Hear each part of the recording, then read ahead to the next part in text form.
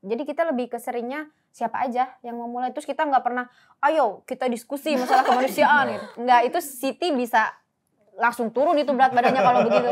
Nggak.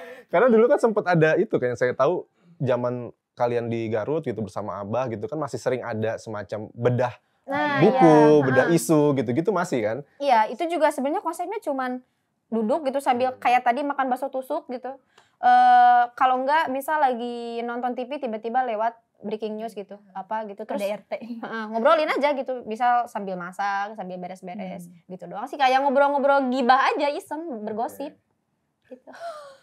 bergosip Menarik yang ya ini. ada dagingnya. Saya bayangin mereka nih eh, untuk informasi sekarang tinggal bertiga gitu ya, tinggal bareng dan eh, banyak melakukan aktivitas-aktivitas untuk mengembangkan sisi musik mereka, juga knowledge mereka dan eh, tentunya sambil mempersiapkan materi-materi baru ya.